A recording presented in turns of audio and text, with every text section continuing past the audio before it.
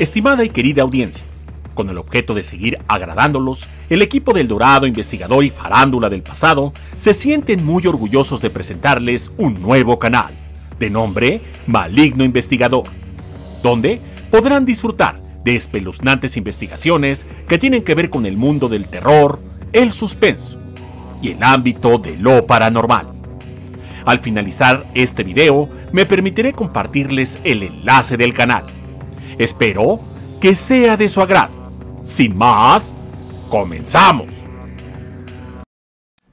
Hoy dedicaremos este espacio para platicarles un poco sobre la vida y obra de una de las actrices que participó activamente en el cine y la televisión mexicana. Se considera como una de las pioneras del mundo de las telenovelas.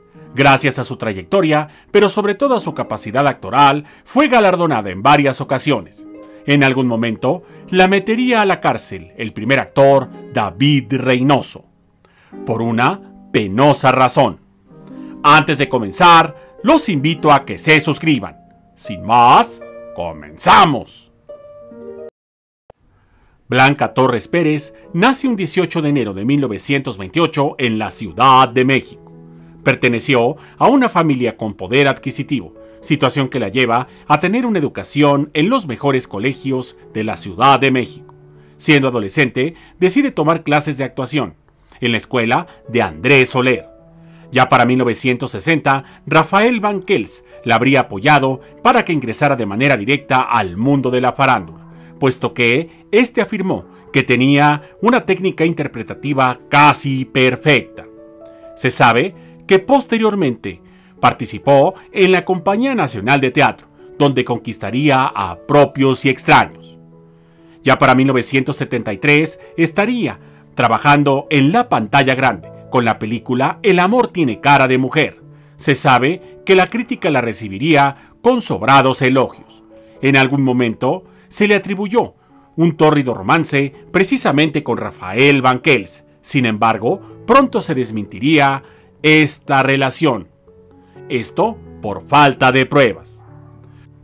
Tuvo en su haber más de 20 telenovelas y 15 películas entre las que destacan El Carruaje 1972, Bianca Vidal 1982, Cuna de Lobos 1986, El Pecado de Uyuki 1988, entre otras. En lo que respecta a la pantalla grande, podemos mencionar La Pasión según Berenice 1976, Naufragio 1978 y María de mi Corazón 1979.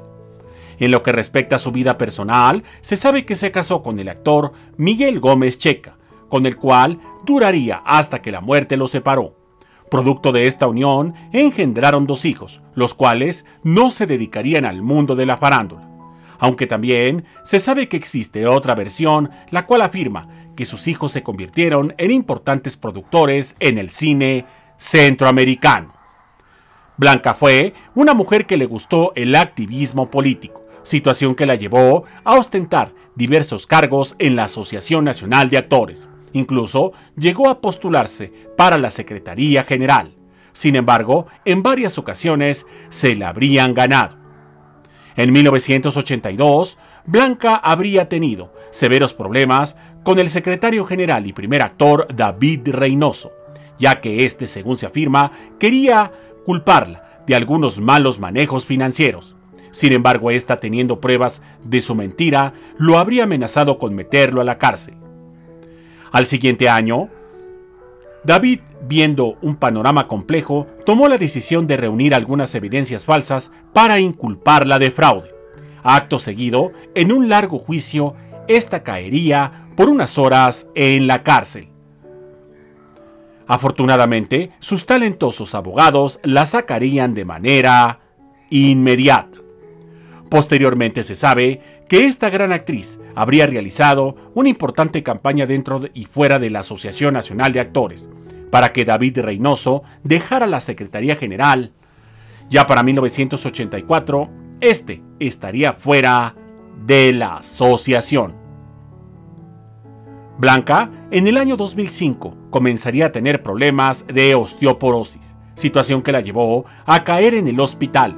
Lamentablemente, un 10 de julio del año 2006 perdería la vida a causa de un paro respiratorio. Muchas gracias y hasta la próxima.